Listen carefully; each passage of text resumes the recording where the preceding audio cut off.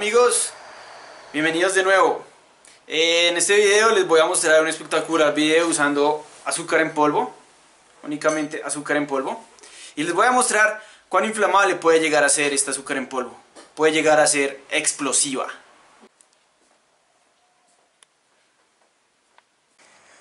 Si tomamos un poco de azúcar en polvo como esta, para repostería, de esa que utilizan para hacer ricos y deliciosos pasteles, y tomamos un encendedor y la intentamos prender, podemos darnos cuenta que no prende, no prende por nada del mundo, como pueden ver. Se derrite un poco y se convierte en caramelo, pero no prende. Como ven. Bueno, ahora lo que vamos a utilizar será una botella como esta, de plástico, de PET. Y pues nada, le vamos a hacer un hueco acá en la, en la tapa. Y le vamos a hacer un agujero así como este, que pase de un lado al otro de la tapa y que quede pues en una cara de la tapa, de esta manera. Bueno, ahora lo que vamos a hacer es colocar azúcar dentro de la botella, ayudándonos con una cuchara o con lo que podamos.